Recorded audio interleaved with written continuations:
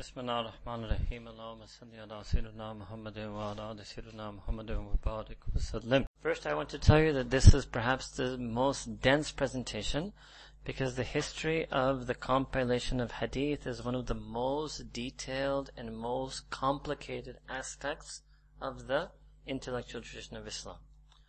So much so that once we were part of an entire semester course on this topic, and you couldn't do an entire degree on this topic, what I'm about to do for you. So if any, and I keep saying this to you, but if any time it was the most true is what I'm about to do for you today, it's a drop in the ocean. What I will try to do is highlight some of the misconceptions that people have and try to correct them.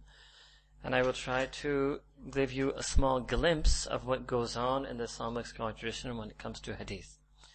Now just to give you an idea, I'm going to give you a small menu and see how many of these things we can do.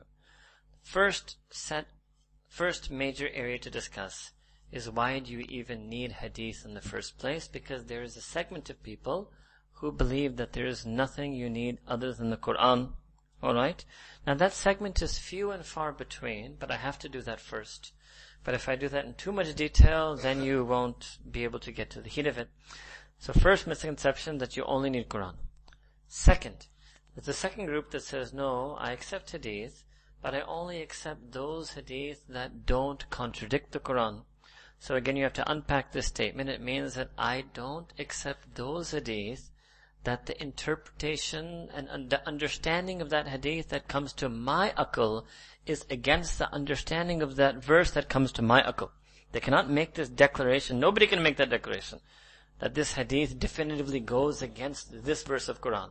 The most anybody can say is my understanding of this hadith goes under against my understanding of this verse of Quran.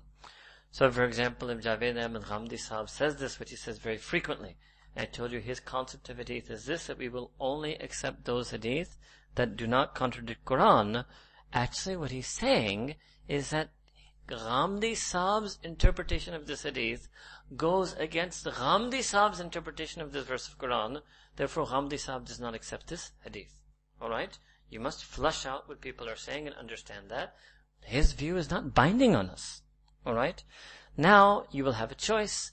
Ghamdi Saab's interpretation of this hadith goes against Ghamdi Saab's interpretation of this verse.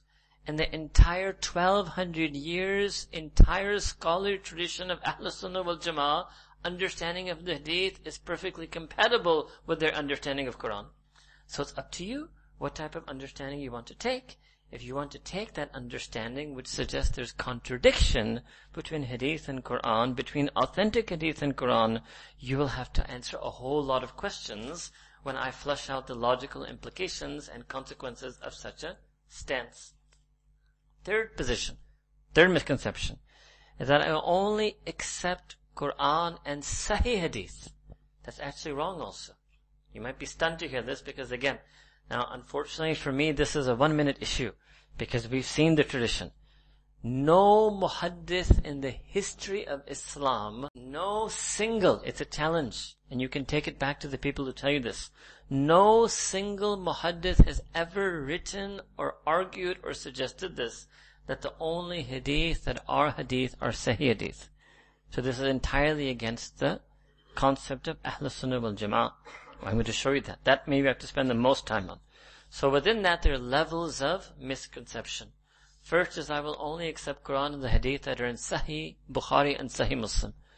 Second is I will only accept Quran and the Sahih Hadith that are in Bukhari and Muslim and the Sahih Hadith of the other four collections as decided by Nasruddin al-Albani. Third level of, third possible misconception, I will accept Quran, the Sahih Hadith in Bukhari and Muslim, the Sahih Hadith in those four collections, and any Sahih Hadith found outside those remaining six collections. No. Then the last possibility is the understanding of the entire Muhaddithin tradition. Not Hanafi, not only Maliki, not only Indian, not only Egyptian, not only Deobandi, not only Syrian. The entire single Hanafi, Maliki, Shafi, Hanbali, Indonesian, Malaysian, Indian, Turkish, Central Asian, Uzbek, Arab, Egyptian, Syrian, Iraqi, Jordanian, Moroccan. The entire, entire history of the Ahlul Sunnah wal Jama'ah scholar. The entire tradition, what? That I accept the Quran and I accept all the hadith that the muhaddithin have accepted. The hadith that the muhaddithin label as sahih, I will accept it as sahih. The hadith that the muhaddithin label as hasan, I will accept it as hasan. And the hadith that the muhaddithin label as zaif, as weak, but nonetheless they are hadith, as opposed to mawdu'a, which is a forged fabrication, I will also accept that my Prophet did say this, and it is part of his sunnah, and it is guidance and meaning for me, with the understanding that this guidance and meaning and sunnah has reached me through a chain which has a single weak narrator, as the muhaddithin tagged it and labeled it for me. And with the understanding that given that it has that tag, the level of meaning in it is slightly qualified and needs to be looked at, which I'm going to show you, as opposed to a Sahih and Hasan hadith, which I will take without any qualification whatsoever. But I 100% accept it as hadith, and I accept it as part of sunnah, and I accept it part of my hidayah, and every single muhaddith, including Imam Bukhari, by the way, narrated and taught Zayf hadith, and viewed Zayf hadith to be part of the sunnah. That school of thought, it's irrespective they call themselves Salafi or Ahl Hadith, it doesn't matter. Any school of thought which suggests that Zayf Hadith are not part of the Sunnah, they're guilty of Tahrif fil Sunnah. Like Tahrif fil Kitab means to take something out of the Quran, they're guilty of nothing less than Tahrif fil Sunnah when they try to convince you don't read it, don't be guided by it, don't accept its meanings. So such populist speakers on the circuit they will tell you such things that don't read Zaif Hadith. Actually, the senior true scholars, who are of a Salafi ideology, no doubt, but they're true scholars, they will never tell you that. Never. It's not possible. I'll give you some names, but they don't write or speak in English nor Urdu, right? Uh, for example, uh, Sheikh Sharif al-Awni, as one example, right? Al-Hatim al-Sharif al-Awni, he's one of the most senior scholars in Saudi Arabia today. He will never take this position that there's no such thing as Zaif hadith, all Zaif aren't hadith, you can't use them for anything. No, right? There is a difference in, like I told you, in the amongst the scholars. The difference between the Salafi and the classical Sunni position is how much of a reservation you will have on using the Zaif hadith. That's the only difference. They don't cast it out. They don't say it's not hadith. The scholars, they don't say it's not Sunnah. The popular speakers will talk like that. The Saudi, Salafi, well-trained, deep, reflective, pious, muttaqi, salihin, zakirin, wali scholars. Understand? Spiritual is something different. Don't think that, uh, that Salafi, Deobandi, anything else is going to go to Jannah based on their taqwa and wilaya. Unfortunately, although some people think like that, Jannah will neither be all Deobandi nor will be all Salafi. It's not like that. You're all going to get along just fine if you make it there, inshallah. Alright? But in this world, in this world, there is a difference in the scholarly position taken. But the difference again, lest you be mistaken, it's not Saudi versus India. It's not Arab versus Pakistani. It's the entire, and up till today, I don't have to say 1200 years, 1400 years of mainstream majority Sunni scholarship from a wide range of ethnicities and races and backgrounds, including Arabs, and Saudis and also other nationalities, because they're obviously Pakistanis and Indians, and Saudi and Saudi inspired people and other nationalities who are Salafis and Ahl Hadis, which is maybe 10-15% of the Sunni world. Alright? So there will be a difference in the scholars of these two camps and how much of a reservation you should have on the use of Zaif Hadith. Alright? The difference again is not between Saudi and Pakistani, not between Salafi and Hanafi. The difference is between contemporary Salafi scholars, be they Saudi or Pakistani or something else, and the entire tradition, not just Deobandis or Hanafis, the entire tradition. Difference with Imam Shafi, difference with Imam Malik, difference with Moroccan Hadith scholars, difference with Syrian Hadith scholars. Alright? So you have to frame the debate carefully. That will be a difference that I will show you. Alright? So these are the levels. No Hadith at all.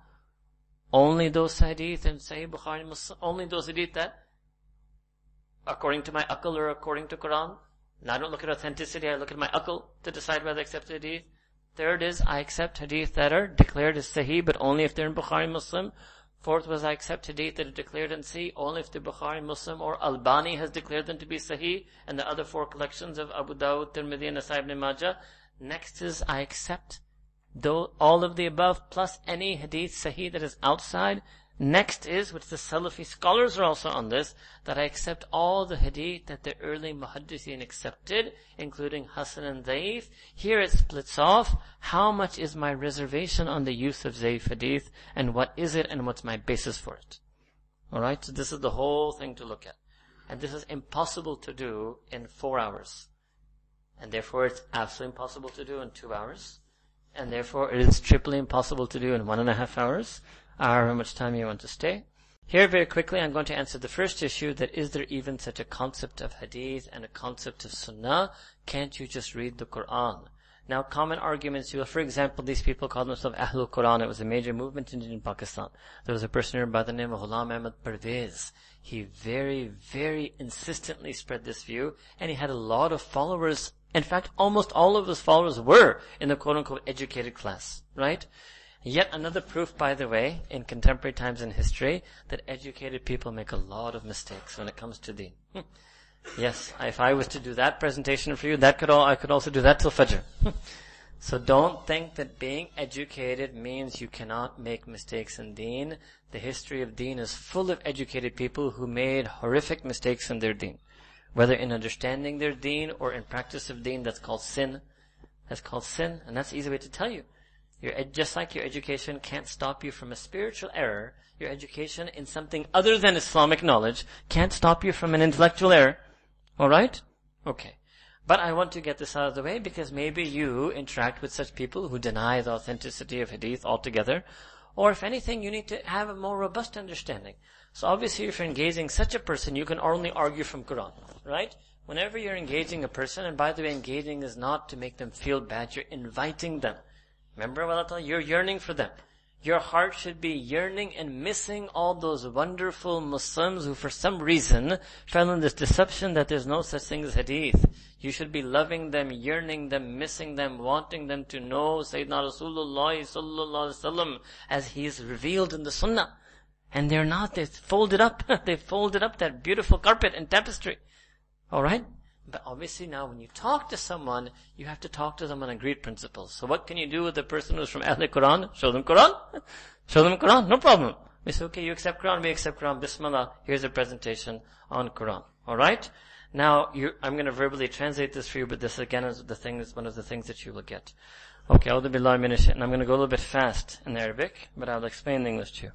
أعوذ بالله من الشيطان الرجيم بسم الله الرحمن الرحيم لقد من الله على المؤمنين إذ بعث فيهم رسولا من أنفسهم ليتلو عليهم آياته ويزكيهم ويعلمهم الكتاب والحكمة وإن كانوا من قبل لفي ضلال مبين Indeed Allah subhanahu wa ta'ala sent His special grace and favor on the believers when He sent to them from their own midst a messenger to do what? Number one, يَتْلُ عَلَيْهِمْ آيَاتِهِ To recite to them the verses of Quran.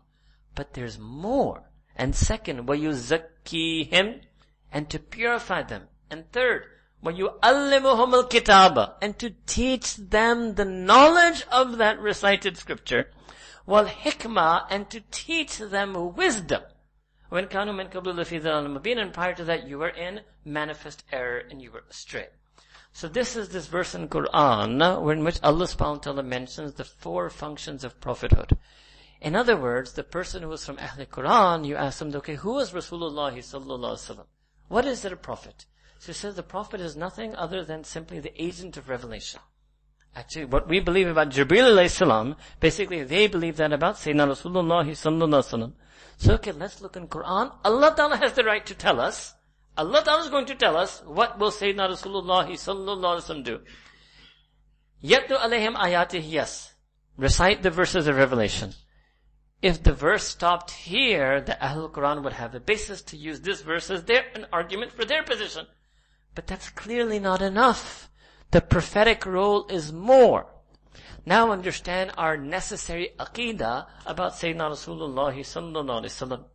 Our aqidah is that Sayyidina Rasulullah sallallahu alaihi wasallam khatam al-nabiyyin, the last and final messenger and prophet in every sense, and that his nubuwa is kamil and mukammal but because his last his prophethood and prophetic teachings must be kamil and mukammal. He must perfectly have transmitted perfectly and completely done all of the things that Allah Ta'ala told him to do in Quran, and those teachings must remain perfect and complete in order for Hidayah to continue.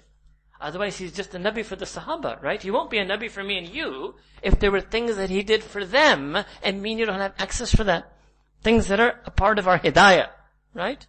So the second aspect of his nubuwa, sorry, that are aspect of his nubuwa, the second thing in his nubuwa is Zakki him, And he purified the Sahaba Ikram and aligned their hearts and personalities with taqwa, sunnah, haya, zikr, tawakkul, sabr, shukr. This was part of his prophetic mission and part of his prophetic teachings. Though that mission and those teachings must continue till today for us to still be in the age of Prophet Muhammad sallallahu. And as perfect and completely intact the Quran is, the recited scripture, as equally, it's equally part of his nubuwa, him. So equally perfect and complete and intact must remain the mission and teachings of Tazkiyah all the way till the end of time. And then when you allimuhum al-kitab, these are the talimatun Nabi sallallahu alaihi wasallam, the prophetic explanations and teachings. And I already explained this yesterday, it doesn't mean that Sayyidina Rasulullah commented on a particular verse. It's his topics. Every hadith he spoke was about a topic of deen, and that topic is found in Quran. So the entire sunnah is talim of Quran. And Nabi Kareem must necessarily have followed Allah Ta'ala's instruction that you are supposed to do ta'lim, you are supposed to teach, and those teachings must remain perfect and completely intact until the end, as long as the ummah is alive. So where are you going to find those teachings? It's not in Quran. That's what's called the hadith and the sunnah. So the Quran is pointing to a set of teachings. Then if they said that no, the teachings means just teaching the Quran itself, well hikmah, to Allah Ta'ala means another word, that you're going to give them talimat and the kitab and something additional. You will also, part of your nubuwa, part of the nubuwa of the Prophet ﷺ is to teach things in addition to the Quran. Now those teachings have to be there for us in order for this religion to still be valid and to exist on earth. So this verse clearly points to extra Quranic prophetic teachings and defeats what one author has called the Nauzubillah parrot theory of prophethood, that Sayyidina Rasulullah sallallahu is only going to listen and parrot what Jibreel said. He has no other function. He just has to repeat what Angel Jibreel said to him. But that's what the Ahl Quran and pervasive position believes in. Oh, Okay, next. Allah subhanahu wa ta'ala says, يَقُلُ اللَّهَ وَالرَّسُولَ That you must obey Allah ta'ala and obey the Prophet sallallahu alayhi wa sallam. And if you turn away from this obedience to Allah and His Messenger sallallahu alaihi wasallam, Allah Ta'ala does not love the people who don't deny and don't believe. So obedience to Allah Ta'ala and obedience to Sayyidina Rasulullah sallallahu alaihi wasallam are part of Iman. Obedience to Allah, Quran, and obedience to Sayyidina Rasulullah sallallahu wasallam, that's in His mm, Sunnah Hadith.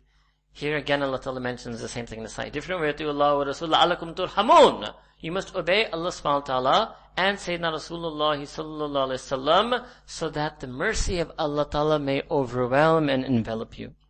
Alright. Sometimes you will get a response from them that look at this verb ati'u is obey Allah. And the Prophet just means that obey Him in His delivery of the revelatory message to you.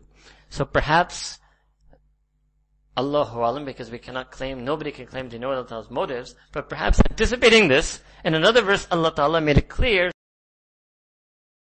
وَأَطِيعُ اللَّهَ وَأَطِيعُ الرَّسُولَ To make it clear that these are two separate forms of obedience, Allah Ta'ala flushed it out and said the thing separate, said the verb separate. And obey Allah Ta'ala and obey Rasulullah sallallahu alaihi wasallam. Now bring in linguistic analysis. Waw, this is a particle or preposition in Arabic. It means and. When you look up in Arabic grammar, even from the Christians who write about Arabic grammar, is waw comes from become mughayara. Mughayara means that for what is before the waw is ghair to what is something after the wow. Waw comes for distinction and differentiation. Means the obedience to Allah Ta'ala is one thing, wa ati'u Rasul is something else. They're ghair ghair to each other. So obey and obey Allah subhanahu wa ta'ala and as a separate, distinct, differentiated thing, obey Rasulullah sallallahu alayhi wasallam. So these are two separate things. That to obey Allah subhanahu wa ta'ala, Quran. To obey Rasulullah sallallahu alayhi wasallam, that is in the Sunnah and Hadith of the Prophet sallallahu alayhi wasallam. Alright. Here, the same thing then at the end, فَعَلُمُ أَنَّمَا عَلَى رَسُولِنَا الْبَلَاغُ الْمُبِينَ That on the Prophet ﷺ is just to present and deliver to you these teachings. Alright. يا أيها الذين آمنوا اتقوا الله ورسوله ولا تولوا عنه وأنتم تسمعون that you believe, obey Allah Ta'ala and His Messenger Sallallahu Alaihi Wasallam and do not turn away from Him. This is an important thing. This here, if you're looking who, وَلَا تَوَلُّوا أَنْهُمَا would be don't turn away from both of them, Allah Ta'ala and the Messenger. But here is the singular for those who know Arabic. وَلَا تَوَلُّوا أَنْهُ and the pronoun always refers back to the closest proper noun. So the translation will be, and don't turn away from the obedience of the Prophet sallallahu alaihi wasallam. وَأَنْتُمْ تَسْمَعُونَ Even though you were listening and hearing his words. Means hadith. Means hadith. This also gives you the proof of the oral tradition of hadith. Hadith was transmitted orally by Nabi Kareem sallallahu alaihi wasallam. That's also coming later. قُلْ أَتِيُوا اللَّهَ وَأَتِيُوا الرَّسُولَ فَإِن Okay, the same thing, it's coming twice. Obey Allah subhanahu and obey the Prophet فَإِن تَوَلَّوْا فَإِنَّمَا عَلَيْهِ مَا هُمِّلَ That okay, فَعَلَيْهِ If they turn away, then on him is what is on his duty. وَعَلَيْكُمْ مَا هُمِلْتُمْ And upon you what is your duty. Means Nabi Akram was responsible to say those hadiths to you, and what you were responsible was to listen and obey. Alright? He did his duty, you have to do your duty. Now look, what in tuti'uhu. And if you were to obey him, again this is singular.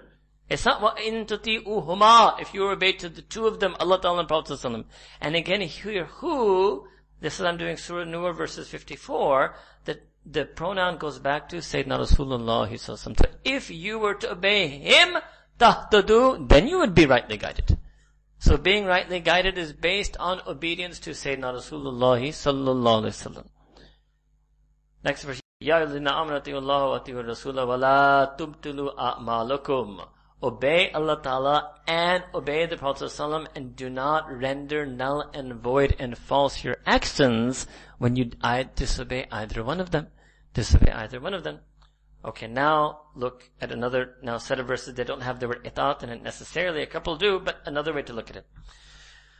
Tilka hududullah that these are the boundaries set by Allah subhanahu wa ta'ala. وَمَنْ يُطِعِ اللَّهَ وَرَسُولُهُ Whomsoever obeys Allah ta'ala's messenger sallallahu alayhi wa sallam يُدْخِلْهُ جَنَّاتٍ تَجْرِي مِنْ تَحْتِهَا الْأَنْهَارِ خَالِدِينَ فِيهَا That they will be made, they will be entered into gardens underneath which, underneath which rivers and streams flow, and they will dwell therein forever. وَذَلَكَ الْفَوْزُ الْعَظِيمُ This is the tremendous success, again based on obedience to both.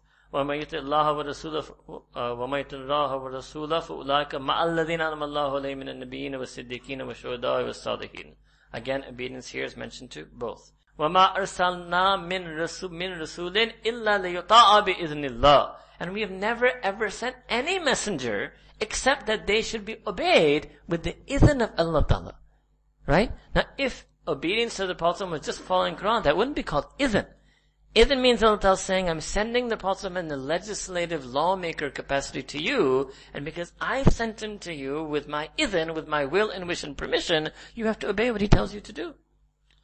Now, next set of verses are going to make it even more outright explicit. Number one, this is Surah Nisa verse 80. مَا يُطِعِ الرَّسُولَ فَقَدْ أَطَاعَ اللَّهِ whomsoever obeys the Prophet sallallahu it's equivalent to in tantamount and as if they obeyed Allah. This is something else. وَمَنْ يُطِعِ الرَّسُولَ فَقَدْ أَطَاعَ اللَّهِ This is clear obedience, authority of the hadith and the sunnah.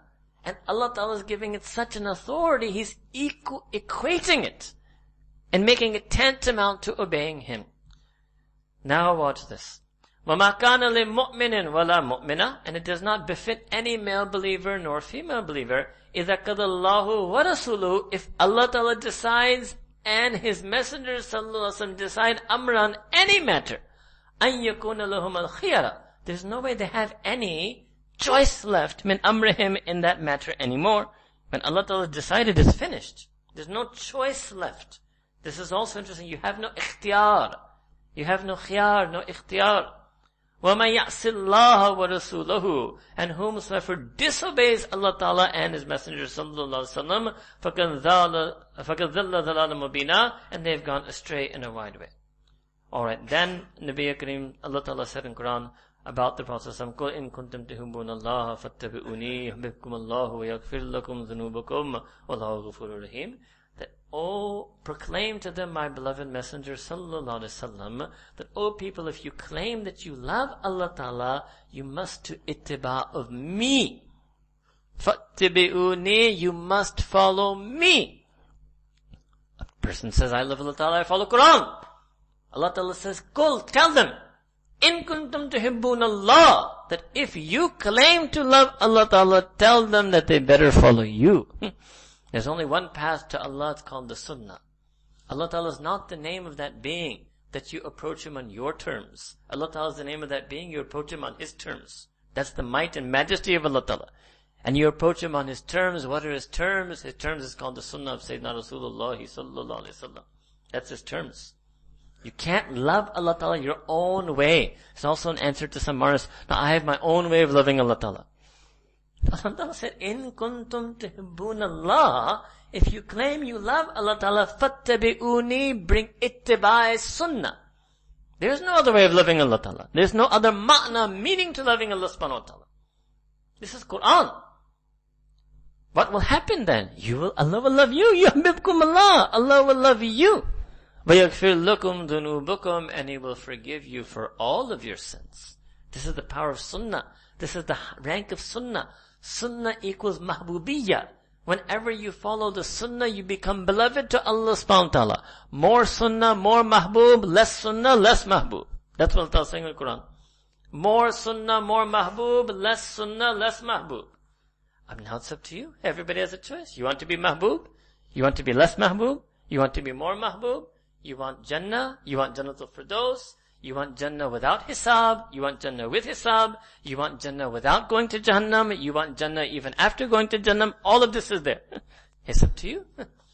It's all up to you. What's one way if a person says, look, I just give me something simple. I want Jannatul Firdaus bighair Hisab. Give me something simple. I want to be most mahbub. I give you this ayah. I give you one word, fattabi'uni. One word. You want it upfront, plain and simple? You say, this is too fancy intellectual stuff for me. Seedhi se baat karo. Hmm? Huh? Give me one word. Fattabi'uni. Allah Ta'ala gave you one word. Ittiba'i sunnah. Allahu Akbar kabira. Hmm? This is Shan, Shan Rasul Sallallahu Alaihi Wasallam. Hmm? Okay, now look. What does, now, Allah Ta'ala is telling in this next verse, so uh, top verse, uh, verse 158. Allah Ta'ala is telling Nabi Kareem how should you introduce yourself? Qul, proclaim to them, speak to them in the following way, my beloved messenger, say what to them? Ya Yohan Nas, address all of them. Just like we left the Nas ones, I showed you the Insan ones. Is all humanity. He's Nabi of Insan. Tell them, oh, each and every person, Inni Rasulullah ilaykum jami'ah. I'm the prophet and messenger to all of you entirely. It's finished now. Hmm? Oh, Mirza Ghulam Ahmad Qadiani comes and says, I'm your prophet. I said, no, no. My Allah Ta'ala told me in Quran that Sayyidina Rasulullah, He Sallallahu is prophet to who? Ilaykum jami'ah. To all of humanity. It's finished. This is also an ayah of Khatam and Nabuwat. Remember, you don't, can't look for word for word all the time. It's their Khatam and Nabeen. They try to play with you the word on Khatam. So you take this ayah then. It's okay, you want tafsir al-Quran bil Quran. What does it mean to be the seal of prophethood? To be the finality of prophethood? To be the last prophet? It means that Nabi inni Rasulullahi alaykum jami'a.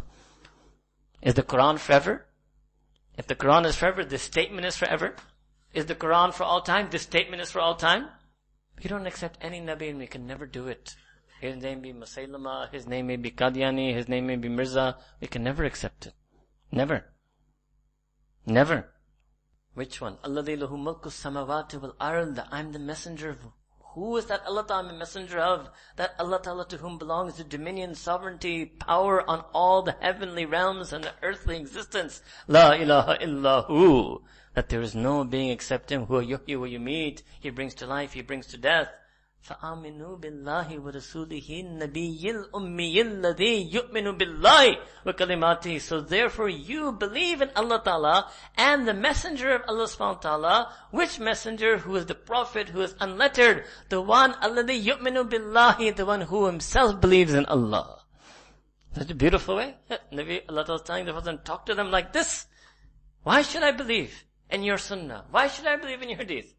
Because I myself, I himself believe in Allah Ta'ala. Hmm? I'm his Nabi, which means Naba.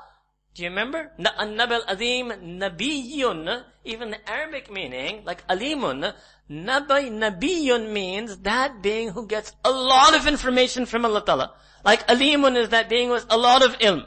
Naba'a means information. The word Nabi, Nabiyun means Allah Ta'ala, Nabi, Sayyidina Rasulullah gets a lot of information from Allah Ta'ala revelation, prophethood. Why? Hmm? Bakalimatihi, I believe in Allah Ta'ala and all of His sacred scriptures. Then, look, wattabi'uhu, do ittiba of Him. Do ittiba of Rasulullah sallallahu alayhi wasallam, la'allakum tahtadun, so that you may be rightly guided. Alright. Even the earlier people, what? They used to make dua. Sorry, even the uh, when people accepted Iman, they would make dua, Rabbana amanna bima unzalta. That, oh Allah, we take Iman in that which you revealed. وَاتَّبَعْنَا الرَّسُولَ And we do ittiba rasul. These are two separate things. We believe in the revealed scripture, Quran, and, what, and, وَاتَّبَعْنَا الرَّسُولَ And we follow the Prophet sallallahu alaihi wasallam because we do these things, Quran and Sunnah, فَاكْتُبْنَا مَا shahideen. Let us write our name in the ranks of those people who have bore witness to you. Alright? Okay.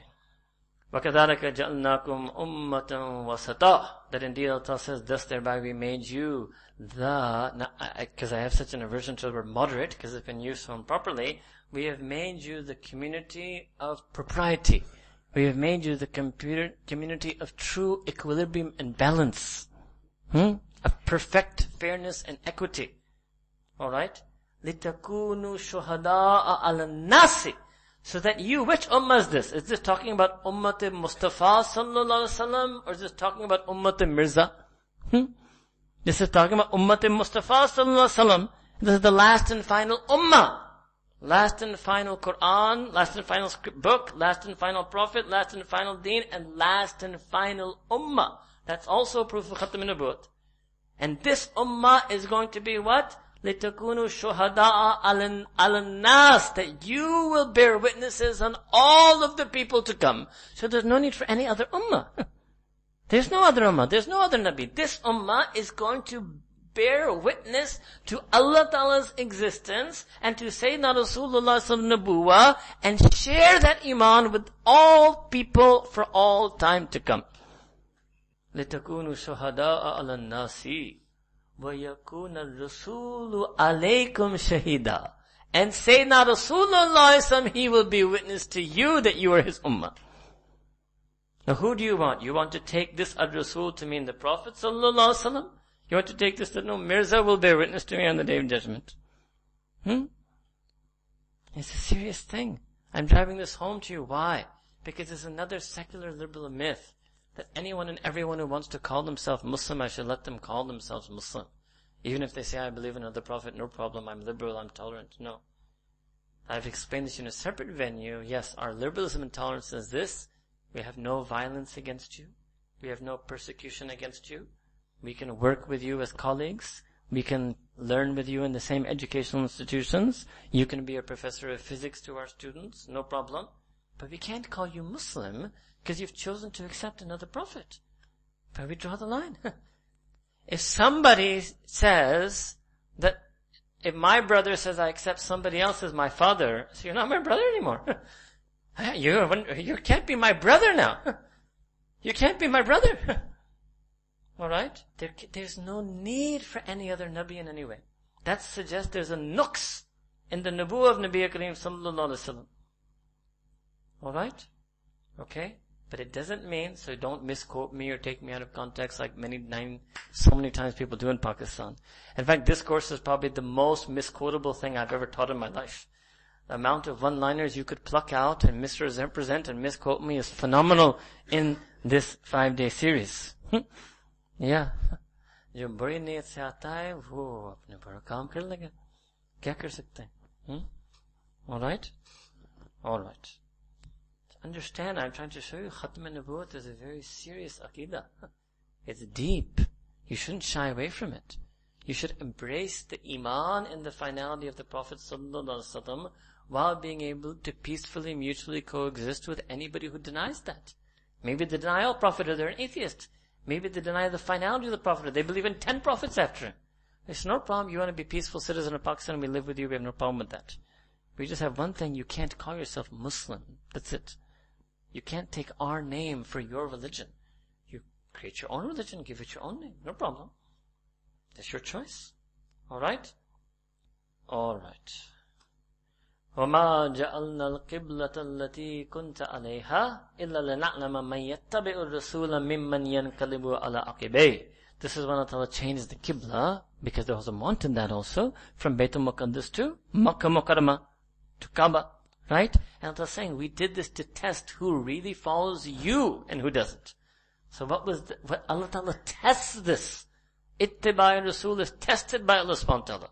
لَقَدْ كَانَ لَكُمْ فِي رَسُولِ اللَّهِ أُسْوَةٌ حَسَنَةٌ لِمَنْ كَانَ يَرْجُ اللَّهَ وَالْيَوْمَ الْآخِرَ وَذَكَرَ اللَّهَ كَثِيرًا And did you have in you and the Blessed Messenger sallallahu alaihi wasallam a noble, perfect, virtuous, ideal exemplar?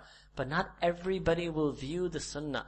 Now question, why do some Muslims not follow Sunnah? Answer is in this verse. Who is going to find the Sunnah Hasana? Who is going to find his appearance beautiful? Who's going to find his manner of eating beautiful? Who's going to find his attributes beautiful? Who's going to find his adab akhlaq beautiful? Not everyone. A particular type of believer. Which one? لَمَنْ كَانَ يَرْجُ اللَّهِ That person who really, really longs and yearns for Allah Ta'ala. وَلَيَوْمَ الْآخِرَةِ They long for the day of judgment. They're not scared of day of judgment. They want it. they want it to happen now. Allah Akbar. Alright. May Allah Ta'ala make us have iman. Why? Because they know that's the day I get to meet Allah Ta'ala. That's the day I'll see Rasulullah Sallallahu This is their hope. so they want it. And what's their other characteristic? وَذَكَرَ اللَّهَ كَثِيرًا That's why our mashayikh, they teach us zikr. You make more zikr, you will follow more sunnah. Why? Because the more zikr you make, the more your heart will feel attraction towards the sunnah. The more zikr you make, the more beautiful you will find the sunnah. That's where you'll find classically the people of zikr, they follow the most sunnah. Because it's Quran. It's in Quran. Who views sunnah as beautiful? Zakar Allah kathira. That person who makes abundant zikr of Allah subhanahu wa ta'ala. Alright? Alright. Now, I'm getting worried, right? You see how deep this Quran is, but how, I don't know how to trim these presentations for you, right? How do I decide which ayah not to show you? Allahu Akbar. Huh? But it's difficult for us. There's no ayah that you don't know. Hmm? What can I do? Alright? There are just a couple more, don't worry. We're second to last page. Hafizu ala salawati wa salatil wusta. This is also, by the way, some people say the five prayers aren't mentioned in the Quran. In the Arabic grammar, salah is singular. Salatain is dual. Salawat is plural, means at least three. At least three are included in the plural. So, steadfastly guard and preserve the multiple prayers and Salatul Wusta. Some say it's Asr, some say it's Fajr. So three plus one, at least four are mentioned here. This, that's another presentation. There's other places in Quran where Allah Ta'ala has mentioned Salah. You can come up with the five prayers from the Quran. Reason is because the Parvezis, they don't pray either. They say there's no such thing as prayer. There's another thing. Um, I mean, what do they do with this verse? right? وَقُومُوا لِلَّهِ قَانِتِينَ And you must stand in front of Allah Ta'ala in awe and reverence and fear and longing for Him. فَإِنْ خِفْتُمْ So if you are in fear, this is in jihad, that you're in fear that if I take the time out to pray, my enemy might kill me. فَرِجَالًا or rukbana. So you may either pray walking or while riding on your mount. فَإِذَا أَمِنْتُمْ And then when you, again, become in safety, security, you know you can pray without any threat, you're in a state of aman. فَذْكُرُوا اللَّهَ Now watch, this is very important. This is a very critical verse. فَذْكُرُوا اللَّهَ كَمَا أَلَّمَكُمْ Remember Allah Ta'ala means there's one way of praying while walking and riding. But when you're in peace, pray. Remember Allah Ta'ala means pray. Kama allamakum, how Allah Ta'ala taught you. Allah Ta'ala is not taught in Salah and Quran how to pray. Allah Ta'ala taught the Prophet Sallallahu how to pray and He taught us. Means every single thing the Prophet Sallallahu taught us, which is hadith, all of that is what Allah Ta'ala taught him. Kama allamakum. As Allah Ta'ala taught you, malam tukunu ta'lamun. And you never knew that before. And yes, that's true. Didn't, Sahaba did not know how to pray until Allah Ta'ala taught them. But how did Allah Ta'ala teach them? Not in Quran. Can you find me in Quran where it says that how to make ruku and to say Subhana Rabbil three times? It's not in Quran. To say Subhana Rabbil Allah and sajda, how many sajdas to make, how many rakahs to pray. This is all hadith. But all of that knowledge is Allah Ta'ala's teaching it. And He's referring to it in Quran. Referring to the method of prayer as being taught by Allah Ta'ala in Quran. So this is proof that this body of knowledge extra Quranic knowledge called Sunnah Hadith that exists. Alright? La tuharrik bihi lisanaka lita'jalabi. Allah told the Prophet that you don't have to hurry your tongue, right? Don't rapid, don't rapidly move your tongue to hurry, to hasten the recitation. Inna alayna jam'ahu. Allah is saying it is in my, it is me in all my might, splendor, and majesty who will take care of its gathering. Wa qur'anahu and its recitation. فَإِذَا قَرَأْنَهُ فَاتَّبِعْ قُرْآنَ So when it's recited, follow the recitation. ثُمَّ إِنَّ عَلَيْنَا بَيَانَهُ So then Allah said, and upon me is to explain it. So just like the Prophet received the kirat of Quran, the Quran was recited to him, believe me, bayan al-Quran, the Quran was also explained by Allah Ta'ala to him, sallallahu alaihi wasallam. Just like the Prophet shared what was recited to him by reciting it, yatlu alayhim, Quran, he also shared as part of his nabuwwah with the ummah what was explained to him by explaining it, hadith and sunnah. So this bayan, that's called the hadith and sunnah. وأنزل الله عليك الكتاب والحكمة وعلمك ما لم تكن تعلم تعلم and Allah Ta'ala sent down upon you, Prophet Sallallahu the scripture and wisdom. So there's more that was received, and that more that was taught is called the Sunnah. وَعَلَّمَكَ مَا لَمْ تَكُنْ تَعْلَمْ And Allah Ta'ala taught you what you didn't know. وَكَانَ فَضْلُ اللَّهِ عَلَيْكَ عَظِيمًا Indeed, Allah Ta'ala has done tremendous grace and bounty on you. Now the last verse, which is absolutely explicit. So, this is for your knowledge, but if you want just to say one, you can quote this one. وَمَا أَتَاكُمُ الرَّسُولُ فَخُذُوهُ وَمَا نَهَاكُمْ عَنْهُ فَانْتَهُ Whatever the Prophet, whatever comes, whatever the Prophet brings to you, means tells you, فَخُذُوهُ Grab onto it. وَمَا نَهَاكُمْ And what He tells you, not what Allah tells you not to do in Quran, what He tells you not to do, فَانْتَهُ You should refrain from it. وَاتَّقُوا اللَّهَ and you should do all of this out of the fear of Allah Ta'ala, then what you will get, in Allah shadidul, or if you don't, in Allah shadidul ikab, because remember that indeed Allah Ta'ala is severe in His punishment. So not following sunnah, not following hadith, what happens? What happens if you didn't do this? In Allah shadidul ikab. Indeed, Allah Ta'ala is extremely severe in His punishment. This is also the deep importance of Sunnah and Hadith. Alright? Okay, sources of knowledge in Islam, wahi and ghair wahi. Wahi means that knowledge which has been revealed by Allah Ta'ala Non-wahi means knowledge that has not been revealed by Allah Ta'ala. The Quran al-Kareem is that knowledge which is revealed by Allah Ta'ala in meaning and speech, kalam. So ma'na is from Allah, but kalam is from Allah, kalamullah, kitabullah, Quran. Hadith is revealed. Every hadith is knowledge revealed by Allah Ta'ala. The meaning is from Allah Ta'ala, but the words are the choice of the Prophet Sallallahu Alaihi Wasallam. So kalam Kalamul Rasul sallallahu alaihi wasallam, Kalamullah, Kalamul Rasul sallallahu alaihi wasallam. Then there's other sources of knowledge which are not revealed by Allah subhanahu wa ta'ala. So obviously they're contingent upon the, contingent dependent upon the first source. Alright? That we will explain to you later when we do Islamic law tomorrow. Alright? Some common questions. Shouldn't we only, shouldn't we follow only the Quran? Why Sunnah? That I've did for you. Next, when did the compilation of Hadith literature begin? Alright. So there's a second question that is raised now.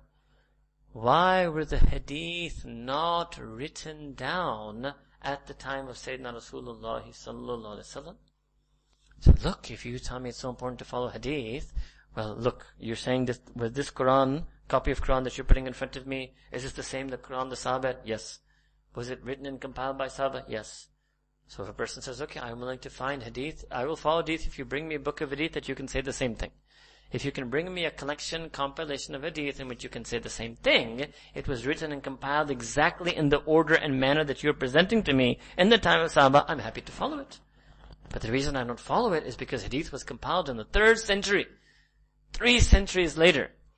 And then they will say, let's play the operator game. So I'll whisper something in his ear, he'll whisper, whisper, whisper. and Three centuries later, you won't get the same sentence. Allahu Akbar Kabira. Ajib.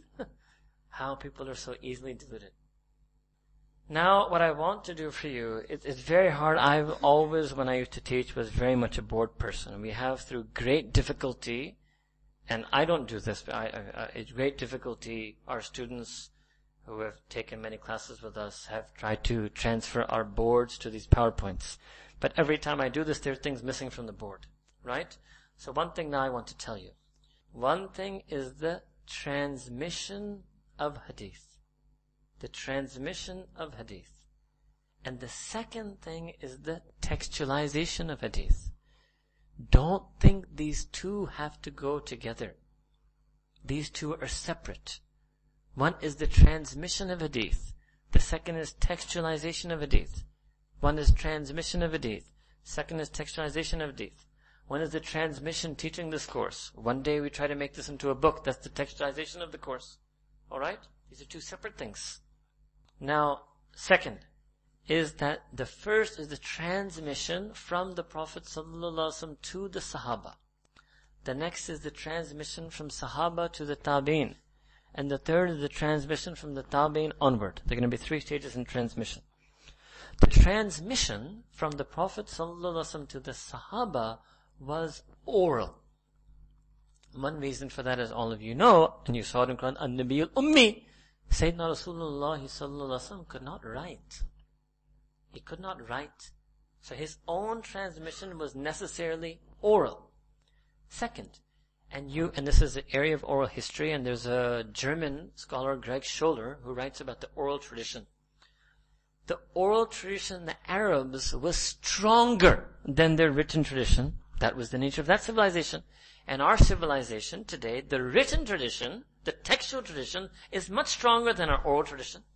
For example, the Arabs used to be, could tell you orally 10, 15, 20 generations of their horse.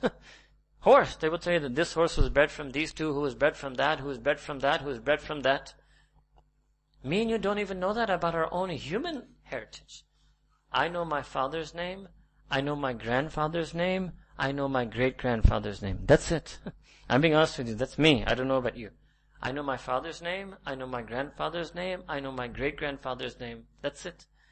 So we are not people of orality, of oral literacy. This is a proper term now people used to capture this. We are not people of oral literacy.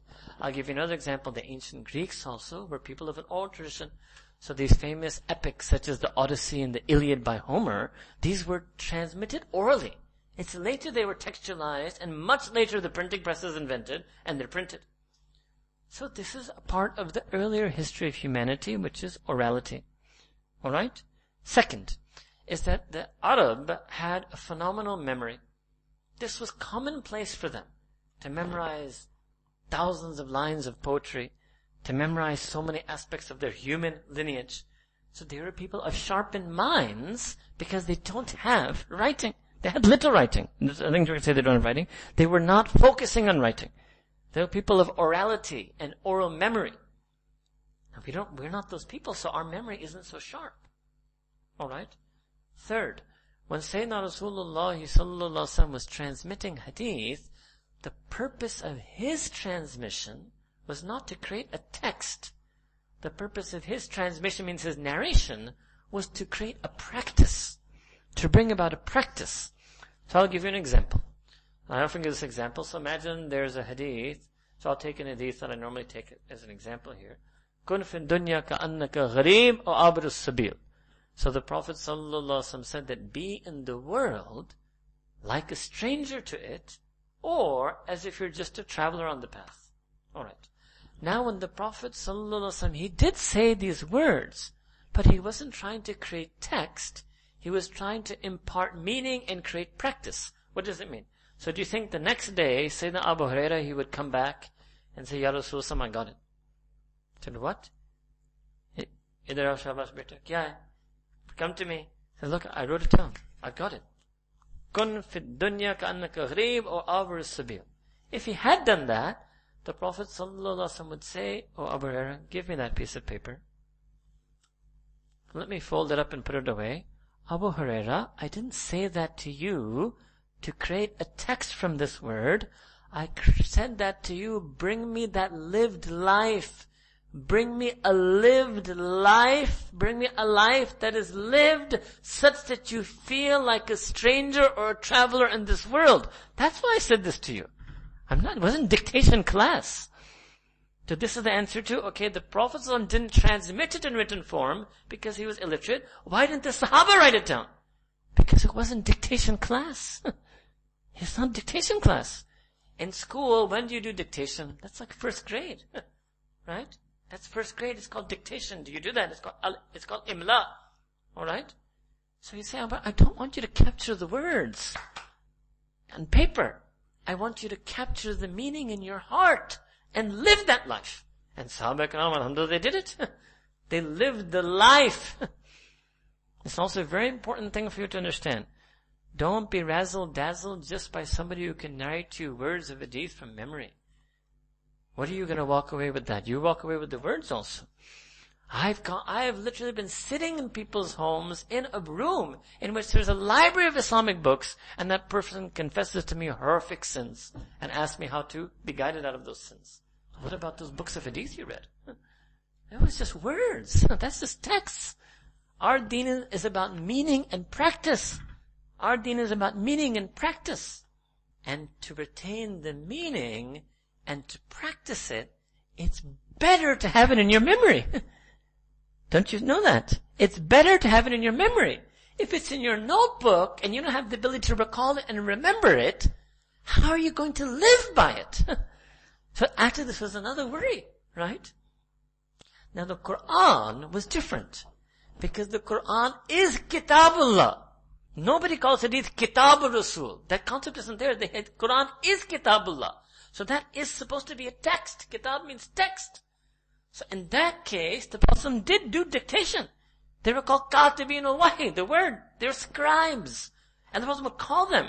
And also for this reason, he initially, in the initial period, did not want any Sahaba to write down a hadith because no, no, the dictation part is for Quran, that's Kitabullah. Me, I'm teaching you Sunnah, Hukm, Hikmah, Talim al-Kitab. For that, I want you to just keep it here, orality, in your mind, in your memory. You don't have to scripturalize this.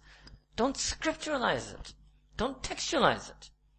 So that there's no mistake. Lest something I say, because everything the Prophet is saying, something that I'm saying which is actually from that wahi, which is Kitabullah, gets mixed with what I'm saying which from that wahi, wahi, which is my sunnah. Now the fact that this worked is the Sahaba narrate the hadith onward. They narrated onward. Otherwise they would have told the Tabi'in, oh no, I'm really sorry. I forgot all those things that the Prophet told me. But here, the Quran, right? But I forgot. And you can never find that in history, not even one case like that. So history is proof that the Sahaba transmitted it onward. Alright? Okay. Now, these other questions, so I'm here still on side number two of the old one. So this was this number two. How many types of hadith are there? Which of them are used in That's coming. Okay. Next is, what was the procedure for preserving hadith from the Prophet's time up until the 15th century? I've started that with you. I'm starting that with These are things to look at. We're going to see. Alright? How were the words, this next thing I did for you, how are the words and deeds of the Prophet dealt with in the area of the Prophet and later the companions? Alright? Memory, practice, and written form. Now to show you, first we have this issue of the oral tradition. I told you about the horse lineage, I told about the thousand verses of poetry. Extraordinary memory. A hadith in Sahih Bukhari that the Prophet said that Nasrallahu abdan samaya maqalati fahafidaha. Allah Ta'ala sends His special help on the slave who hears a statement of mine and preserves it or hafizaha literally from hifz, like hafiz, or memorizes it. So it wasn't an ordinary memory either. First they had an exceptional memory due to the oral tradition, plus Allah Ta'ala sent His special help and enhanced their memory. Enhanced their memory.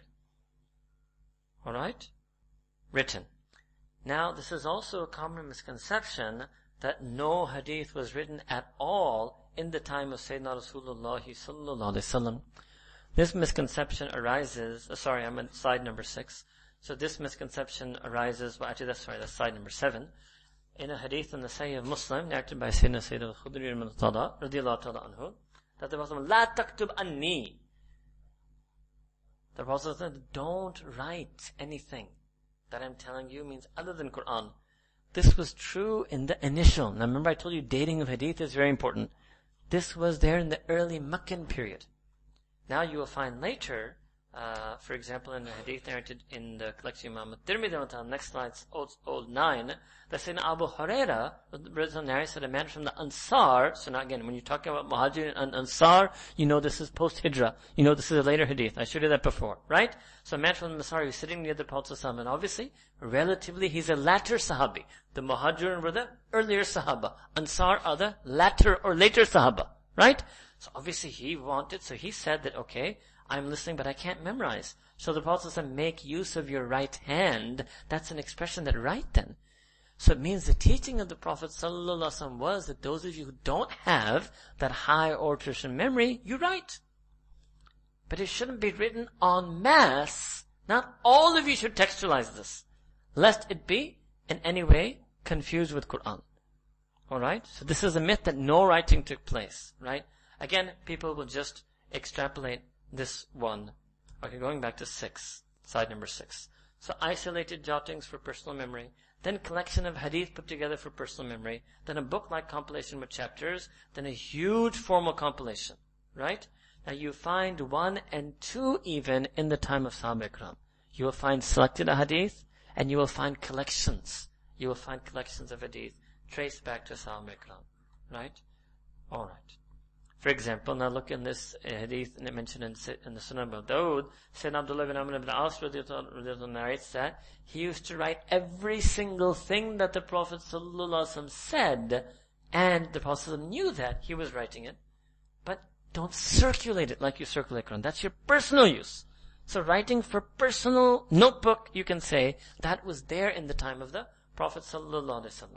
Alright? Okay, then you have this other explanation of umm Mu'mineen, Sayyida Aisha in the Sunan of Nasa'i. Alright. Writing in the second Hijri. Now, second Hijri means the, eight, the transmission of Sahaba to Tabin. So when the Sahaba received the transmission from the Prophet they were writing. Some Sahabi saying I wrote everything. Some saying I took help from writing when my memory failed me. Others relying completely on their powerful memory. All of that was going. When the Tabi'in received second transmission, second transmission is Sahaba transmitting to Tabi'in. Sahaba transmitting to Tabi'in. You have entire huge works written at the time of the Tabi'in. One of this is the Kitab al-Athar Imam Imam Malik Ta'ala is from the earliest of the Tabai Tabi'in. Strictly he's not from the Tabi'in. But one of the very earliest of the Tabai Tabi'in, a very well-known, well-taught, highly authentic collection of hadith, having many, many topics, and there were many other books written in those times. Alright? Then what happened is the third century. So this is that period from 225 to 275 Hijri, when the quote-unquote Sihah Sitta were compiled. Alright. Okay, now when I the reason why we put here as known as Sihah Sitta is strictly speaking, not every hadith in these six collections are Sahih. There's only two collections from the six which call that category. That's the Sahih of Imam Bukhari and the Sahih of Imam Muslim. But because in the other four, the overwhelming majority of hadith are Sahih, so in the nisba of that, in that majoritarian spirit, they were also referred to as, uh, as from the Sahih, from those books that are the repositories of the Sahih Hadith. So these are those Bukhari, Muslim, Nasa'i, this incorrect English, Nasa'i, not Nasa'i, Nasa'i, Abu Dawud, or if you read it together, Sunan Abi Dawud, Jami, uh, the Jami' of Tirmizi, and the Sunan of Ibn Majah. Alright. Now, the first effort that took place, what happened? Why did you have these, why this effort in the third century? Because what happened was after the time of the Tabi'in, means in the age of the Tabai Tabi'in, up till this third century, was also the incidences of forgery and fabrication. One Orientalist likes to call this the age of forgery and fabrication. That's a bit melodrama, right? That's incidences of forgery and fabrication. Now when that started happening, and believe, and you'd be amazed, when did it happen? It happened because of the textualization. Because when you have textualism, then people view the text as authority. Like the New York Times says, all the news that fits to print, that's fit to print. It means if we print it, it's news. if you print it, it's true. This is also a way that people deal in truth. That is it written? Is it printed? So now, but actually that's not for us. The authenticity is did the Prophet say it? Right? But then there became, once you textualized hadith, which they started doing, right? Then the printed, hand printed, but textualized, became the marker for truth. So that made it very easier for a forger. Right? And he hadn't heard, he didn't even know who the Sahaba were who narrated, but he picked up, for example, if you want to forge a hadith, so you pick up a hadith that's come to you, and the chain is there for you. So Malik heard from Nafi, who heard from Abdullah bin Umar, who heard from Umar, heard from the Prophet the sentence. So I say, okay, that's great, now I can forge. I never knew these things before. I would have had to go and orally present to people and they would have caught, poked holes in my, I would, they would have ran me out of town if I had to go to the masjid and try to orally forge a hadith. Very difficult. But when it became textualized, very easy now. I'll just cut and paste the chain and just add whatever I want, write whatever I want. and, and in fact, now I even know that this is a chain that people respect. Hmm? Right? So you may be thinking, how did they catch such a person? That's coming later. Oh, just, but that's, I can barely show you that. But there's an incredible way they caught such people. Right? One way they caught such people, I'll show you a little bit of an example to keep it a bit easier for you. So that person copied the chain. What? That Nafi said, that uh, Abdullah bin Umar said, that Sayyidina Umar said, that the Prophet said. But the problem was that this guy didn't realize when he copied that he can't prove that he ever met Nafi. Right? He can't prove that. and the Muhaddithin looked at this and they looked at liqa, who met who and who is known to have studied under who and who is known to have narrated under who because when they were textualizing the hadith, they also had these halakas of hadith and the attendance would be written. And the muhaddith, such as Nafi in this case, or some other muhaddith, would keep a record of who is my student, because when they wrote the hadith, they also made the system of ijaza, ijazatul hadith. Who has my license and permission to narrate hadith? So when you look at all the people who were authorized by Nafi to relate from him, this guy's not on the list. So you caught him. When you caught him, then you tag, you, you tag him, and any hadith that has him, it's all mawdu, it's gone. Whether he narrates from Nafi or somebody else. This is one example. There are many tools they had to, de- to detect these forgeries and fabrications. But it started at the age of textualization. So then there was a bit of a pause now. And then the muhaddithin said, okay, now, we, in addition to narration, of course, there's sincere seekers, we'll keep narration, keep transmission. Textualization is already done. But now what we better do is, because everybody is putting any parchment together, so now what we have to do is create a canon of hadith. A canon means a definitive, authoritative set of collected works that becomes the reference now. And so if anybody finds some other little hand, handout or booklet, they'll know, no, no, no, if the muhaddithin did not put it in these collections, it's not okay. So that's why they made, this was the age of hadith, canonical compilation. Alright? Are you getting an idea?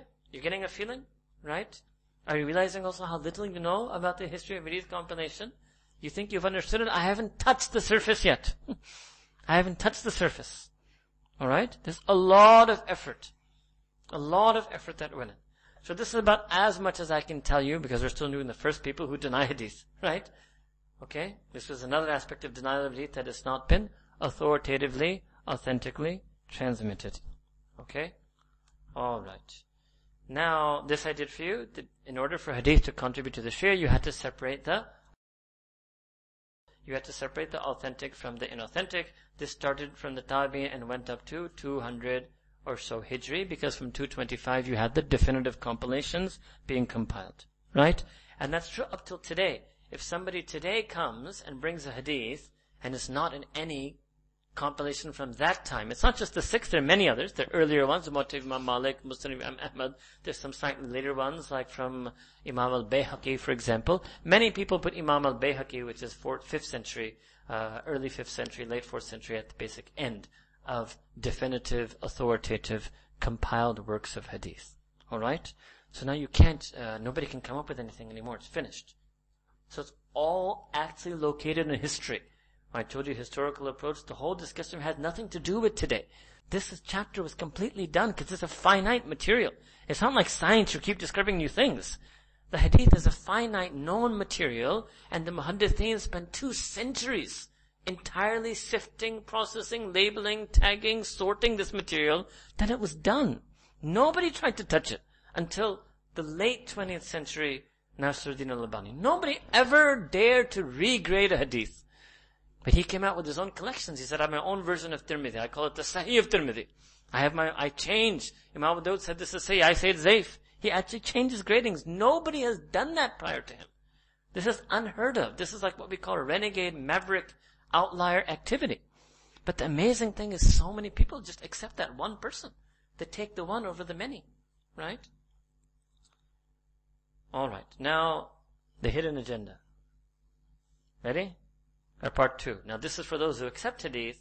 Uh, Today's hidden agenda. Sanad. The name of the game is Sanad. How are you going to determine a hadith, whether it's Sahih, it's Hasan, it's Zaif, what's going on? It's called Sanad. So understand now, Sanad is, strictly speaking, the chain of narrators. Alright? Sanad.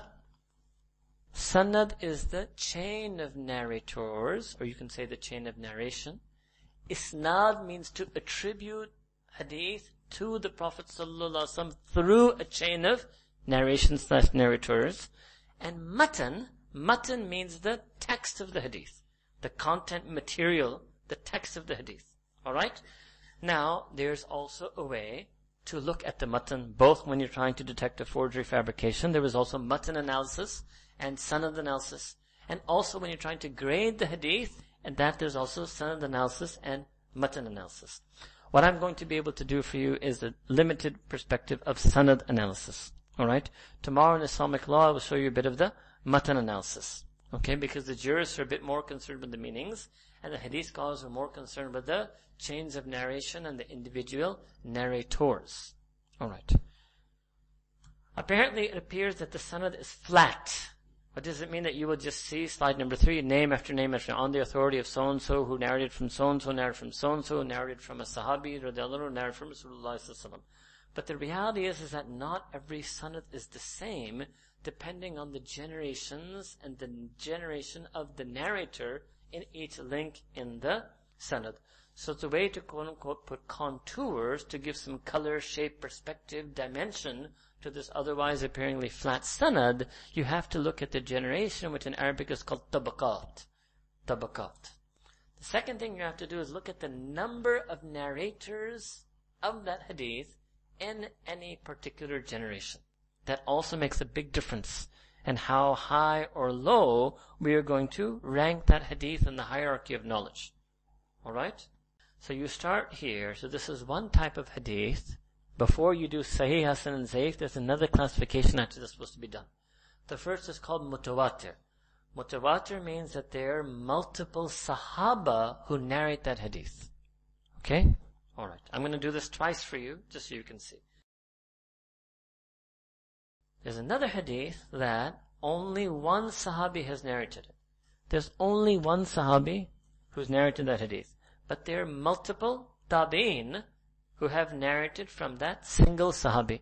So the multiplicity of narrators, if it takes place in the first generation, if the multiplicity of narrators is found in the generation of Sahaba, mutawatir.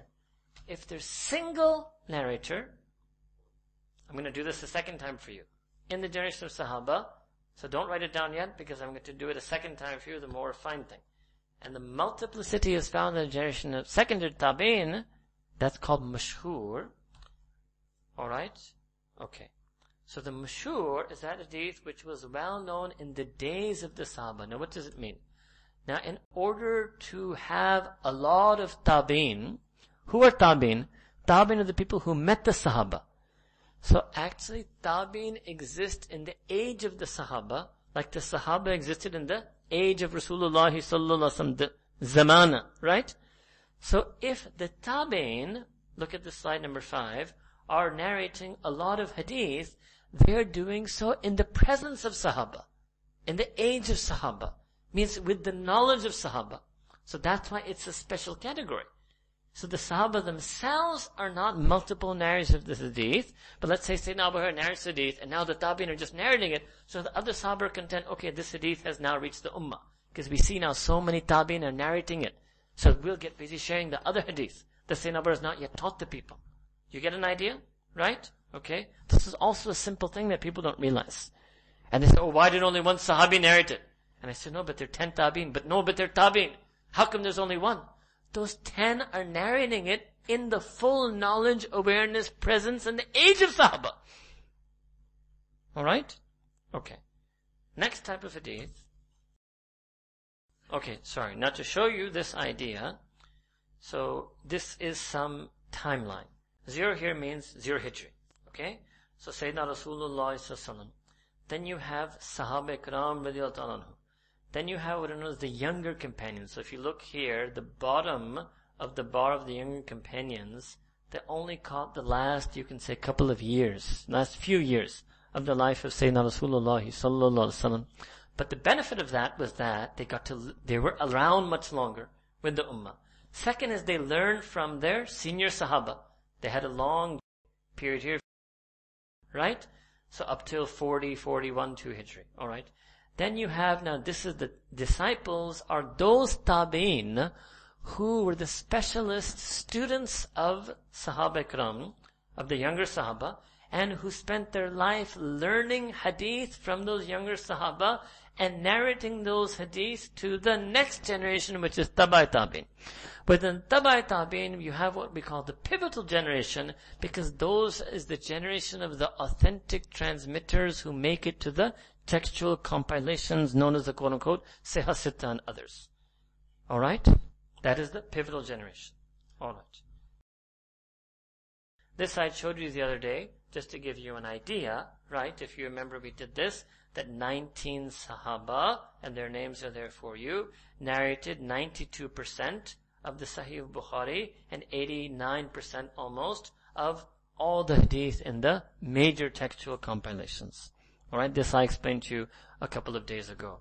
Those of you who were here would remember that. Alright? So the notion here is again that this was a specialized activity.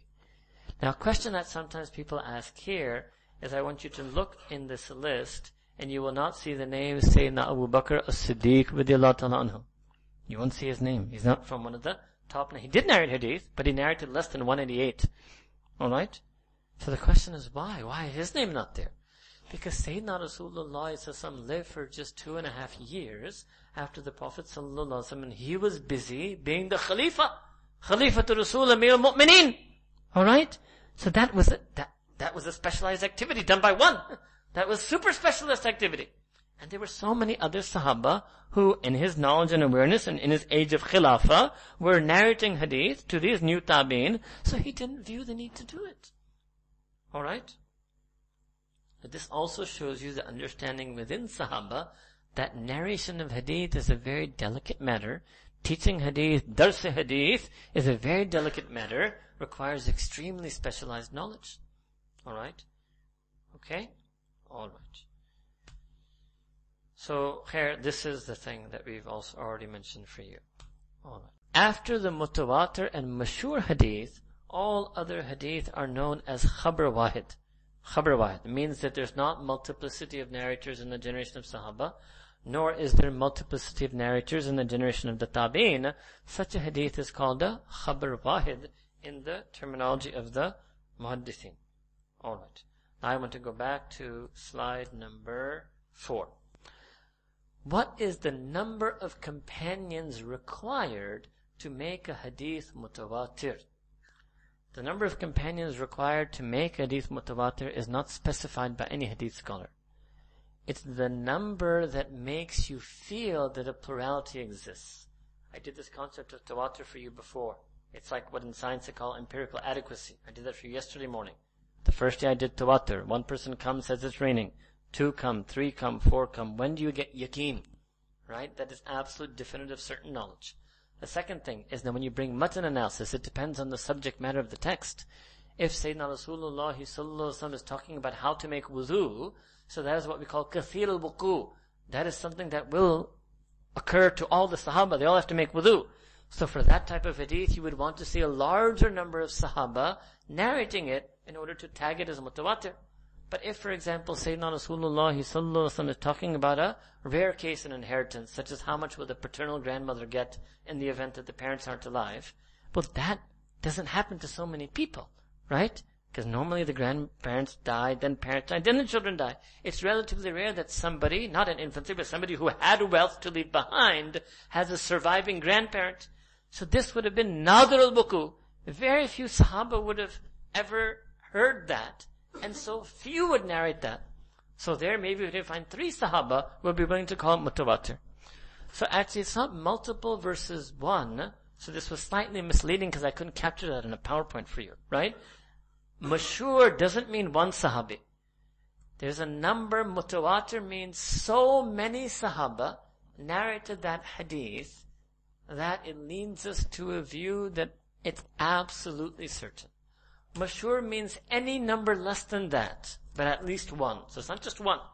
Any number less than the number the muhaddith feels would qualify a hadith to be mutawatir, but definitely, obviously, there is one, because otherwise the chain is, there's no chain if it doesn't go back through a sahaba.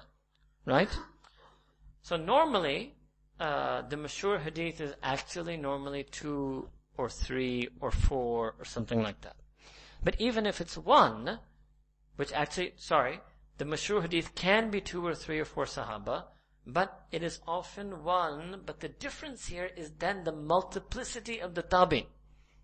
Right? So now you will see Mutawatir. So a lot of companions. Three is not a number here. Three is just to denote plurality. Lots of Sahaba and lots of Tabi'in, but which ones? Now I told you, now we're talking about the ones I told you, the disciple, the disciple Tabi'in. Then which one of the Tabai Tabi'in? The Madar generation. Then next comes the topical collections. That's Imam Bukhari, this is Imam Muslim, this way they come in the chain. And then a second generation hadith critic, this is also another category of people, but I, we don't have time to show you that. Alright? Now watch this, I'm in slide 16, watch him. This is a mutawatir. This is a mashur. So the multiplicity is in the, starting not from the first, but the second generation. This is the khabar wahid. Now this is called the normal Khabar Wahid. The multiplicity starts not in the first nor in the second, but the third generation. But the multiplicity are the Madar scholars, the pivotal, the pivotal scholars of that generation. Another type is a barely acceptable Khabar Wahid, that at least one pivotal scholar, one pivotal scholar is narrating it. And then, watch this, this is if there's no, only one pivotal, sorry, this was one pivotal scholar, but multiple topical collections, which also senior muhaddithin. So I find it in the Sa'i, I find it in the book of Abu Dawud, I find it in Bukhari, right? And the next was that, okay, no, one, one, one. Prophet obviously one, only one Sahabi, only one from the Tabi'in, but what type of from the disciple Tabi'in, only one from the Tabai Tabi'in, but a pivotal generation scholar, only one. It's only in one of the major topical collections, right? But many of the hadith critics after that took it, and then there's another one, I look for the uh, X. The next one is that it's too rare that we won't accept it, right? There's only so many generations where you will tolerate a single narrator. Now this is a very simplified version, right? It depends on the seniority of that single link. That's a huge discussion which I cannot capture to you in a PowerPoint. Alright? Now another thing I will tell you is that the further you go down in the hierarchy, so there's no real debate between mutawatir hadith. There's no debate in mashur hadith. It means they're all sahih. The question of being sahih, hasan or zaif arises in the khabar wahid. Alright? That's the first thing. The question of being sahih, hasan or zaif arises in the khabar wahid. So that I think is here. So there's mutawatir, side number 22. There's mashur, and then there's khabar wahid. So the yellow, from the khabar wahid, then we're going to go in this discussion. Is it sahih, is it hasan, is it zaif, or is it mawdu' or was it fabricated? Alright? Okay. Now I'll pause over here and, and tell you now it gets deeper. Hmm? It gets deeper because there's multiplicit, multiple positions of hadith scholars. So actually the real classification would be this. That that hadith, the sanad, that all the early hadith scholars agreed to be sahih. That hadith which some scholars held the sanad was sahih, some thought it was hasan. That's level two. Level three, all agreed that it was hasan. Level 4, some felt it was Hasan, some felt it was Zaif. Level 5, all agreed that it was Zaif. There's more also. Level 6, there's a particular category of Zaif, which is sometimes we call it Wahi, eh, I haven't shown it here. Wahi, or sometimes it's called Zaif Jiddan. You can say extremely weak, but still not fabricated. So level, what level was I now? Sahih, Hasan, Sahih, Hasan, Hasan, Zaif, Zaif. Level 6. Some scholars felt it was the tolerable zaif, and some felt it was the wahi, which is extremely weak, which is near intolerable. Seven, all the scholars felt it was wahi, extremely weak. Eight, some felt it was extremely weak, and some felt it was mawdu, fabricated, and nine, all of them agreed it was mawdu. So actually there are nine levels of hadith. When you start looking at more than just one book of hadith criticism. Alright? It's deep, believe me. आपके बस में नहीं मैं और आगे आपको पढ़ा. Right? There's so, I can keep opening it up for layers and layers and layers. Right? I'll give you another example. Now let's look at just one narrator in one chain. Right? If I have that for you. Alright, let's take one hadith. So my colleague, uh, wonderful person by the name Maulana, Dr. Iftikhar Zaman, he did his entire PhD on one hadith entire PhD at University of Chicago on one hadith. That was also tried to be captured here in PowerPoint. Now I don't know if you, because you're not familiar with these names, right? Hadith a person who wants to go into this issue of hadith grading, right? You have to know every name on the slide. You have to know everything about them. You have to know who met who, whose comments were what about who, how the hadith critics evaluated them. You have to know the multiplicity of positions. It's called a PhD. Yeah. Okay, 17 plus 29 is 46, 56, 62. So one is there's 62 chains here, right, that were looked at. That was just the 62 chains that came from one Sahabi, Sayyidina Sa'ad. And then there were other narrators of this, right? 62 chains of narrators. You'll have to know every single one of those 62. Now there's a is a genre, it's known as ilmu asma rijal. That is the knowledge of the names and biographies of those narrators. There's a second genre, ilmu jarh wa ta'dil, the knowledge of grading the narrators. Now the grading system is very refined. Another thing is different hadith scholars use different grades, grading systems. So for example, let's say I pick up one of these hadith, one of these 29. So going from Sa'd to Amr ibn Sa'd to Zuhri to one of his eight students to one of the 29 who narrated from one of his eight students. So I look up that narrator and I want to see what did the hadith scholars say about him Because if they said his hadith becomes zaif, so I'm looking up narrator X. Okay, now when I have to look it up in five, six, seven collections. Now, the critic one, his system of grading is A, B, C, D, F. So he gives him a B plus. The other one is grading on a 4.0 scale. He gives him a 3.2. Yeah, that's it, because they use different terms. There wasn't any single codified terms. There are certain very common terms. There was a lot of sharing, but there was also distinct terms that some of them would use. Now I'm trying to get a feel. Right? Now, what happens is, so this is a very good way I can explain because a lot of your students, alright? Now what happens is, I see that five of them gave him an A minus or a B plus. That's good enough to be Hasan, right? Alright, so I label the hadith as Hasan. Okay. What happens is Nasruddin al-Albani goes to the library in Damascus and he reads evaluator number seven. Evaluator number seven gave him a D. So he says, I've done breathtaking, groundbreaking new research, and I've discovered that this hadith in the collection of the Jami of Imam Tirmidhi, which Imam Tirmidhi labeled as Hasan, this hadith is actually Zaif. You say, well, how did you get that? And he gives you a footnote. Such and such, and it's a hundred percent reputed, authoritative hadith critic. So and so said that this narrator in this hadith is Zaif. So you say, oh, I don't believe you, Albani, I'm going to look it up. You look it up, but you'll find it's true. You look up the hadith in Tirmidhi, this is the chain of narrators mentioned, that narrator's name is there. You look up that narrator name and the reference he gave, hadith critic number 7, hadith critic 7 gave him a D. But we didn't realize is that the true muhaddithin looked that narrator up in seven places and saw six out of seven gave him A minus, B plus, and number seven gave him a D. They discounted the grade of the one who gave him a D. And not just because statistics, they have reasons for that also. They have reasons. They will even write, and so and so has erred in viewing this narrator to be Zaif. Sometimes they say, for example, because you mistaken him with a different Sa'ad. Or because he thought that this, they actually even many times address why the person gave him a D and say he was wrong. But you won't see that. All you need is a footnote. All you will see is a footnote. Oh yeah, it's, it's, it's. I got the footnote. I got the Imam Dhahabi said he's Zaif. So what, you don't think the Muhaddithin knew Imam Zahabi wrote? of course they did. This was part of their research. Do you understand how, how these mistakes are made? Right? But it's not easy to go through all of them. This is a huge workshop. The biggest workshop is hadith. It's bigger than tafsir. The most difficult area of Islamic studies in terms of size of workshop is hadith. The most difficult area in terms of meaning the hardest, the biggest workshop to build, hadith.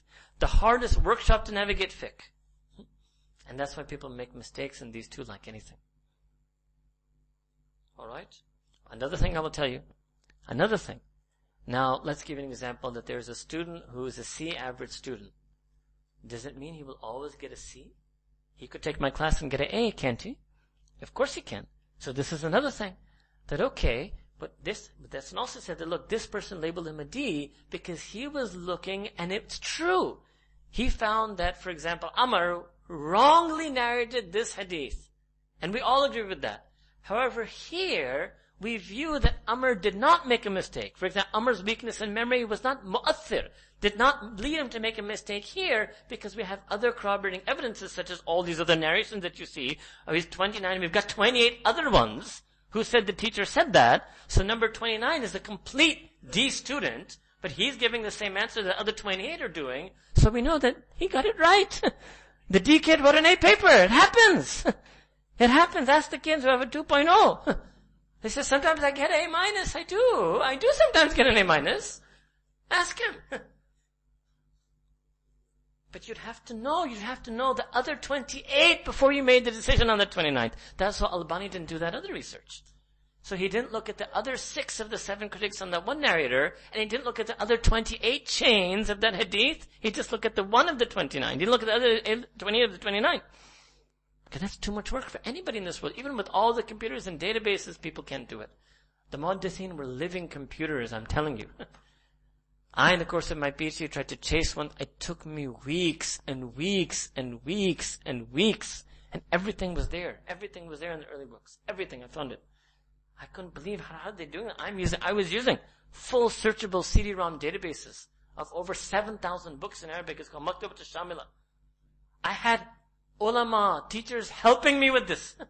I said, I'm going wild trying to find this, right? I had teams of people on teams of laptops searching these things. And I found them in the works of the Muhaddithin written in pen and paper. Hmm. I've experienced it. That's what I know.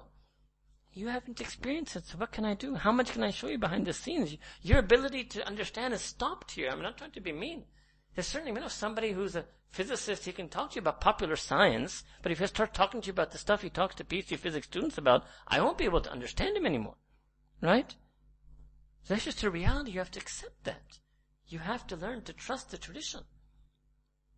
There's so much that goes into the grading of a hadith. So much that goes into the evaluating of a narrator. Okay, there's a second thing. Let's say you have multiple chains of transmission and everyone has a weak narrator. Everyone. Every single one. And that weak narrator is in a different generation. Let me do that also and in a different place. Let me do that also. I could do it with you right now. Pretend this line is Yemen, this is Damascus, this is Qahira, this is Makkah Mukarramah, this is Medina Munawwara, this is mm, Baghdad. Right? And all of the first ones, because all Sahaba are trustworthy. There's no question of anybody, nobody evaluates Sahaba narrators. This is what it means to be Ahl Sunnah wal Jama'ah. Right? But let's say on this line, row 3 is weak, on this line, row 4 is weak, on this line, number 5 is weak, on this line, number 6 is weak, etc., etc. It's a different generation, different place. right? But in the back end, which is the hadith compilers, it's all the same text. So that's not matan analysis. We have corroboration. because it's not possible. There was no SMS that from Yemen to Makkah Mukarramah to Medina to Cairo to Damascus to Baghdad, they could have all have colluded colluded, conspired, mutually cooperated to create the same lie. That's not possible. So that's another reason. Saying that the hadith is not zaif, it's fine. But we will tag the individual hadith and the individual chain still with the word zaif. So that's another thing they'll confuse you with. That look, Imam Abu Hanifa based his legal ruling on this hadith, and this hadith is found in the collection of Abu Dawud, and not Nasr al-Bani, Imam Abu Dawud called it zaif. He said, yes, we, I call it zaif also. But the point is that this same text in the hadith has been translated, transmitted through so many multiple chains that that multiple chains leading with the same text corroborates the text and elevates beyond the level of weak. But that's not written in the work of Imam Dawud. He just wrote zaif next to it. You didn't catch us on anything. 100% that he says zaif, Imam Dawud calls it zaif. But it's not zaif. that single, single chain of narration through which Imam Abu Dawud is narrating it, that is zaif. That the person says, no, but I found to me it's also zaif. I said, yes, everywhere you will find it, it will be zaif. Mention a zaif. So that's something that says, look, Imam Hanifa based his ruling on this decision. Every single tech Every single work of hadith that has this hadith has called it zaif. I say, yes, but they all have it with the same text across different generations, across different places. That's corroboration. The jurists and muhaddithin understood that. I could keep going. There's so much that has gone into this. And so many ways you can be misguided and pull quoted by this word zaif. The word zaif has been used as a weapon in Islamic scholarship today thanks to this ideology. And that is wrong.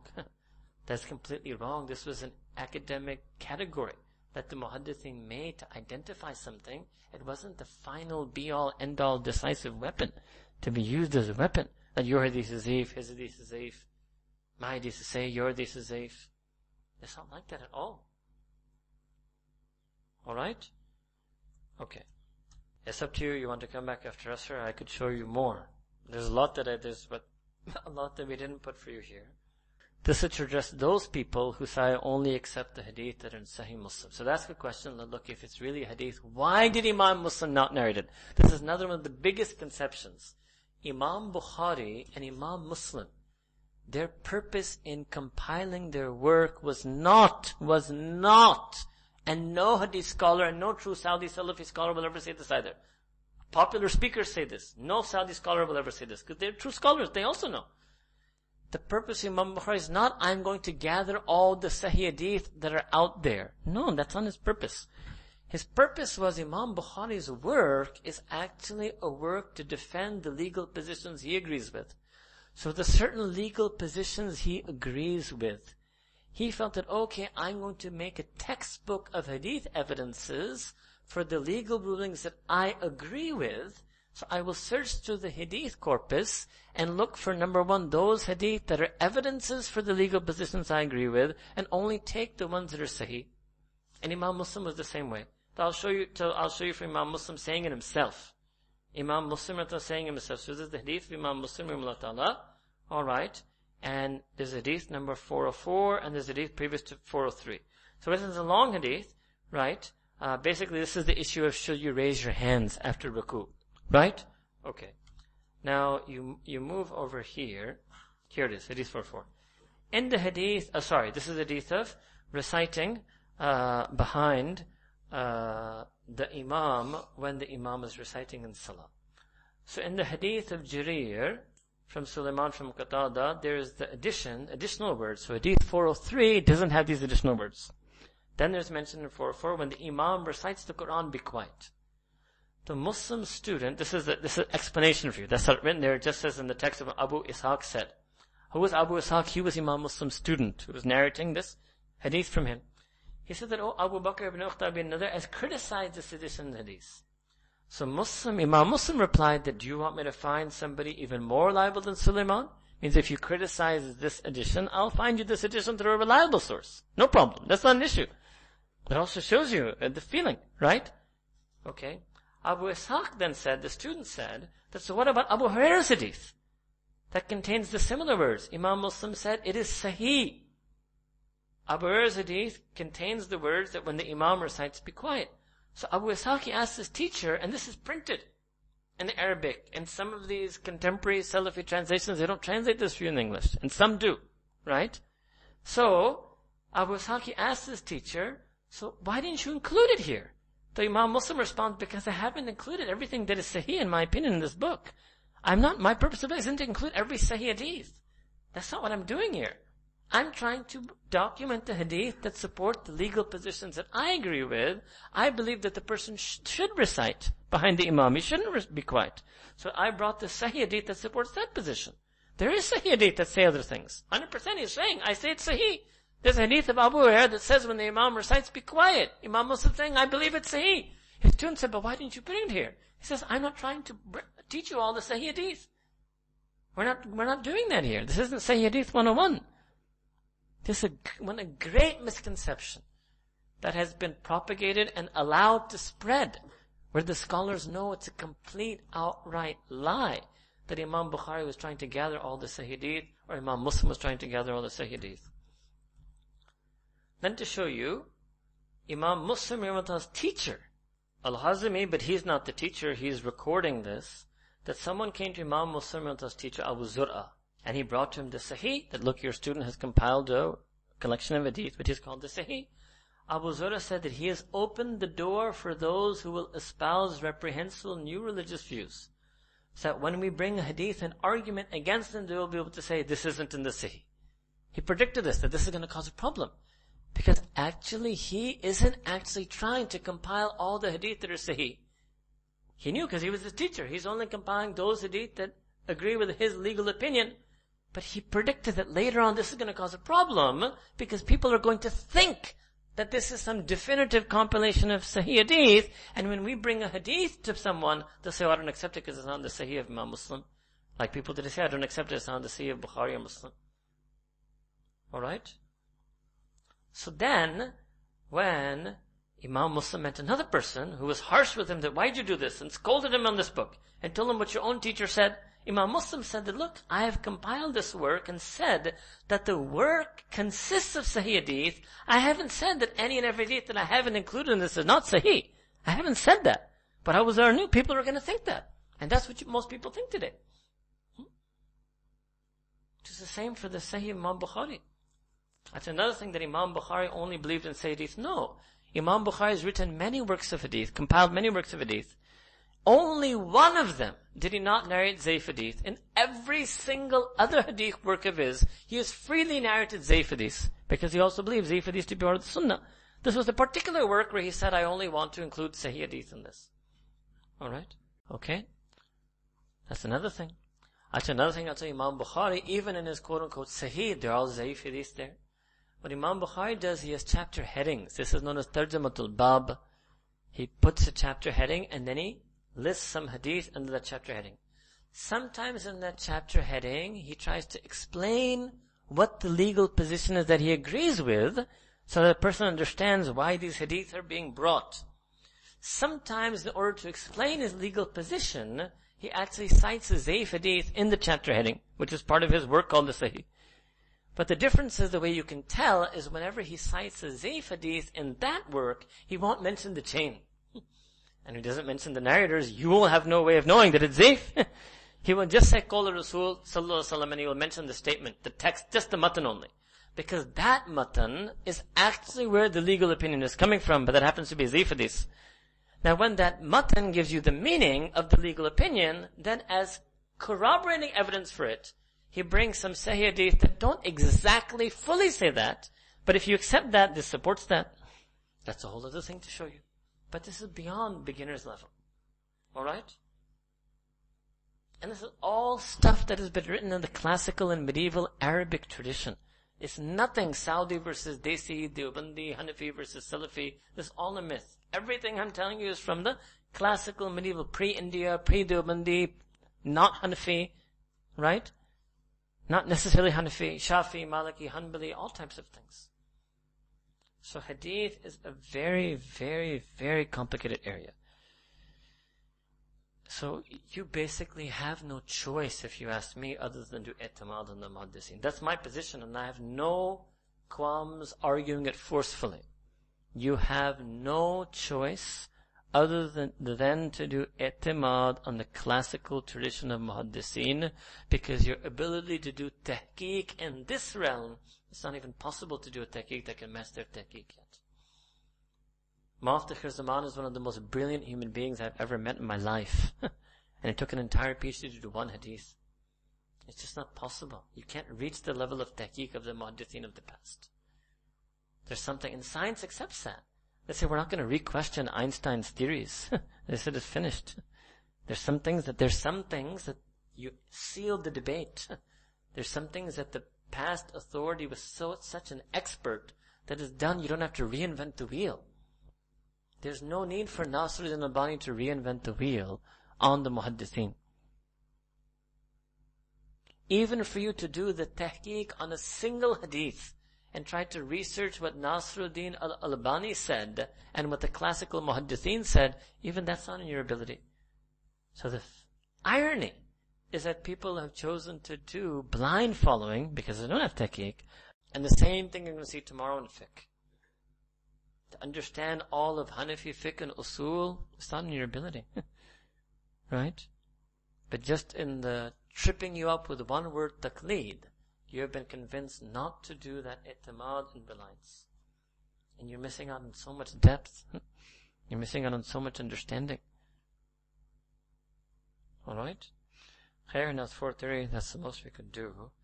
This is a very long subject. Very long subject. Uh, Alright? Jazakumullah khair. Some jazak questions. Why is it that the leaders of the Salaf do not agree despite such clear proofs of the rest of the ulama? Basically, it has to do with loyalty. And there's a certain loyalty that a group of scholars have chosen to have for Nasruddin al-Albani or Ibn Taymiyyah or Ibn al-Qayyim al-Jawziyah. There were five classical scholars. They don't all agree with each other. Imam al-Dawud al-Zahiri, Ibn Hazm, Ibn Taymiyyah, Ibn al-Qayyim al-Jawziyah, and Ash-Shawkani. But this is coming tomorrow. These are five big names who also had departures from the classical tradition. But Ibn Taymiyyah and Ibn al-Qayyim al-Jawziyah, I personally rather try to keep them in the tradition. Ibn Hazm and al-Zahiri outside the tradition. Even Ibn Taymiyyah would probably agree with that. Shawkani is actually just a follower of Ibn Taymiyyah and Ibn al-Qayyim, but because he's such a prolific writer, we're mentioning him in his own right. So a lot of it has to do with loyalty, has to do with affinity, and has to do with something I'll explain to you tomorrow.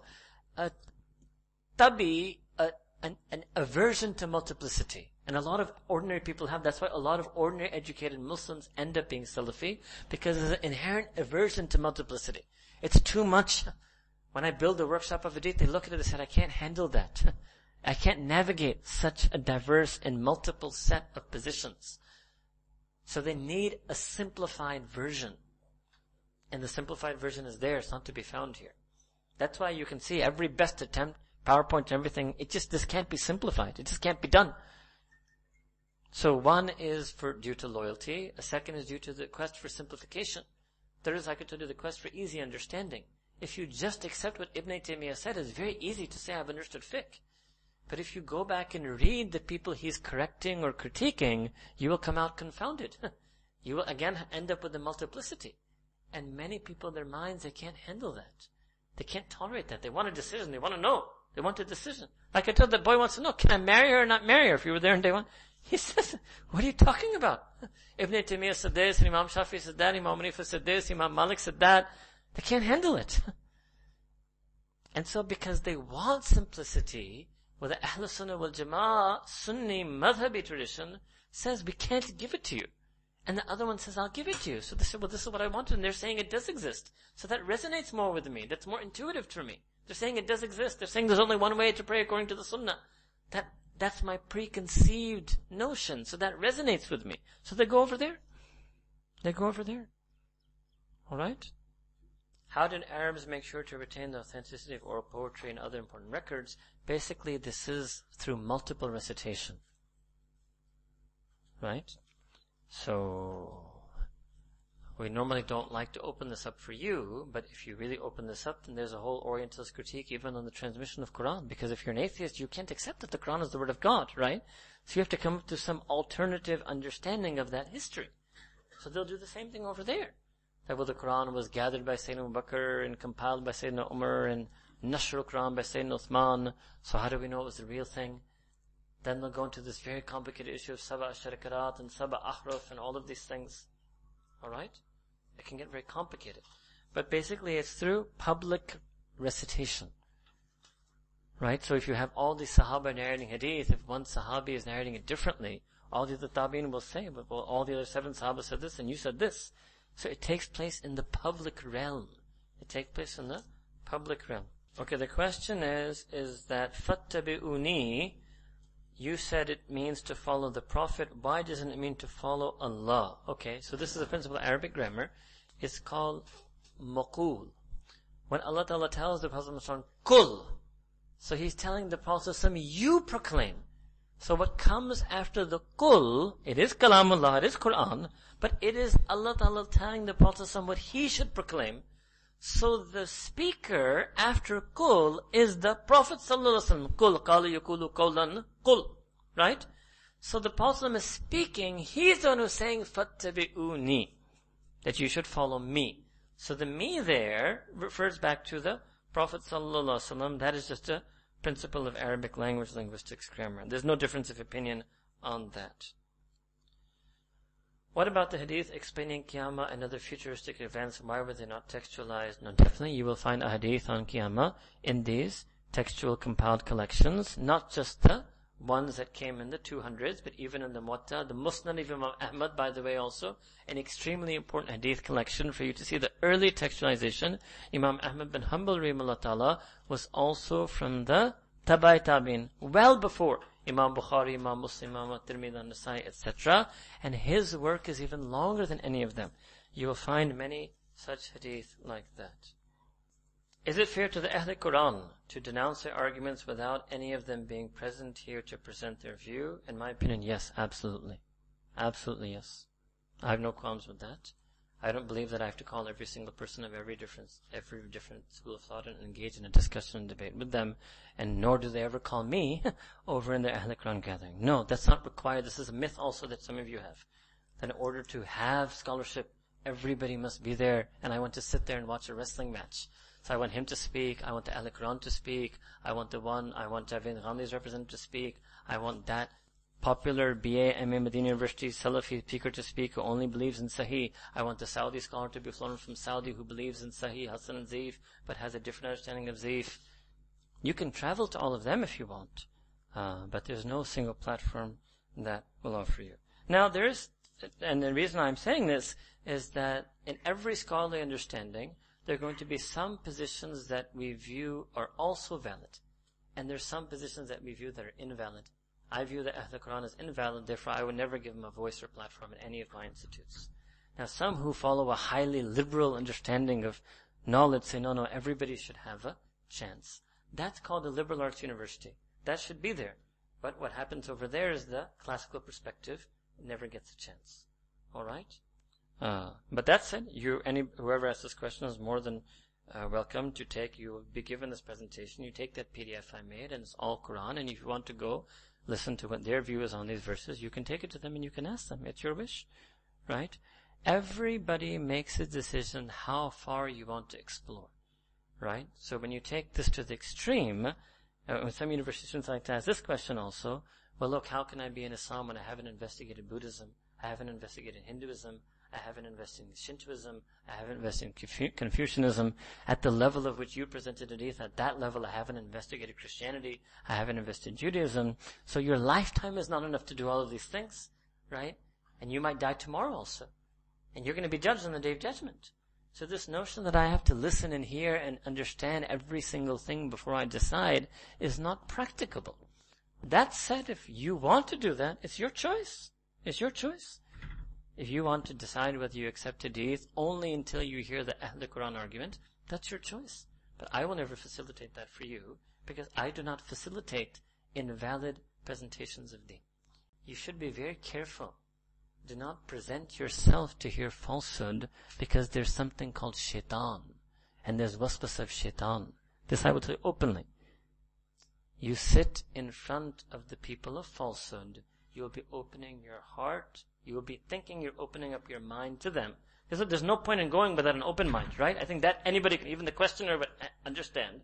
There's no point in going to uh, with a closed mind. It's a waste of the Ahl Quran's person time, it's a waste of your time. The only sense you would go is if you went with an open mind.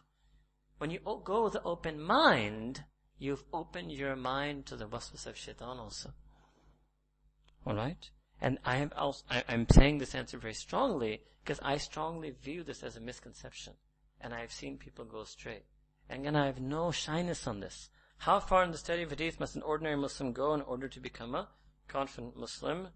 Basically, I would say you have to go as far as required for you to get certainty in your understanding of the Sunnah of Nabi Kareem Sallallahu Alaihi Wasallam. So if a person says, I'm willing to trust the Muhaddithin, then you can pick up Riyadh al-Salihin. If you say, no, before I trust Muhaddithin, I need to learn all that stuff that you showed, then you better bring me four, five, six, seven, eight, ten years of your life, and we'll enroll you in some institution, and you get busy. There's no problem there. You can do it if you want.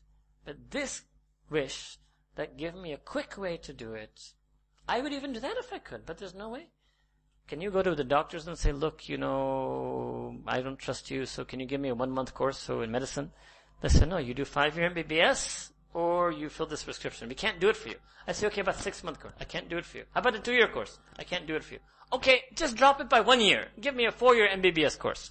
I'm willing, but I can't take more than, I've saved enough money for four years of study, so I'm going to stop my business and study for, say we can't do it for you. Five years or nothing. That's what they, so why can't I be the same way with you? Alright. That question we'll do after when we come back. That's from Inshallah.